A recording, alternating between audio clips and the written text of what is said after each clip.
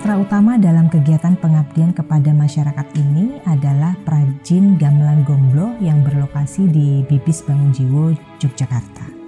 Tahapan dalam pengabdian diawali dengan FGD antara Prajin dengan uh, pelaksana pengabdian untuk memperoleh konsep inovasi digital dan bentuk pengelolaan manajemen usaha yang nantinya menjadi bahan bagi tim pengabdi untuk menentukan konten yang akan dikembangkan di antaranya itu dengan redesign logo dan stationery kit, um, foto feature, foto produk gamelan dan foto profil perajin gamelan hingga website dan video profil.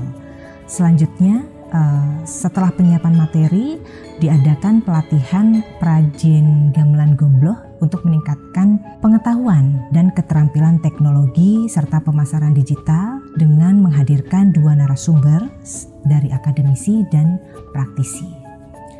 Harapan dari uh, pelaksanaan kegiatan pengabdian ini generasi muda penerus usaha gamelan gombloh termotivasi untuk melestarikan kerajinan uh, gamelan sebagai warisan budaya.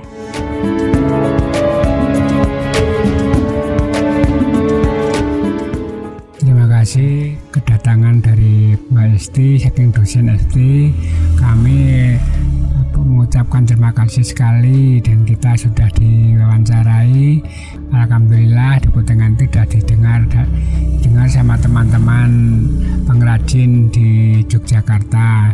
Dan sampai kemarin di Keraton Yogyakarta pun sudah ada yang melihat.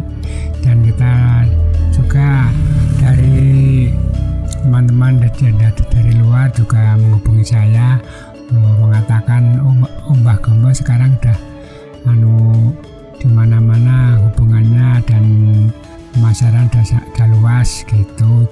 Terima kasih atas kedatangannya Mbak. Ya kemarin Nah, itu bermakna sekali bagi saya soalnya sebelum itu kita kan nggak sampai segini. Setelah kedatangan Mbak Tia itu kan um, ada yang menanyakan harga-harga gamelan juga. Banyak manfaatnya kita kedatangan dosen-dosen Dharma di syuting kemarin itu.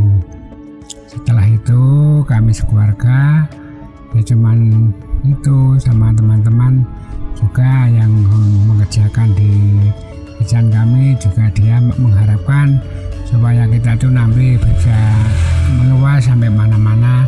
Juga supaya pesanan yang kemarin-kemarin itu kembali ke, ke saya lagi. Untuk supaya bisa barang itu bisa untuk turun turun jangan sampai punah gitu loh. Maksud saya gitu